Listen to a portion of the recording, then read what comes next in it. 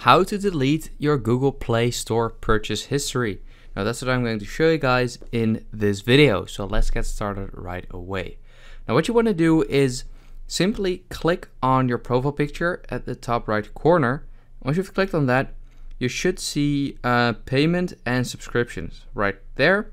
You want to click on that and here you can see your budget and history.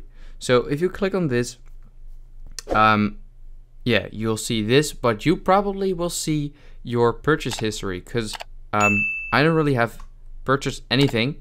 So that's why there is nothing in here. But if there is, then um, yeah, you should be able to click on like three dots and just delete everything or um, select it and then delete it. Uh, something like that. And hopefully that'll help you out. Um, so yeah, that's it. Um, I hope this video helped you out. Please leave a like and let me know in the comments if it worked. I'll see you next time.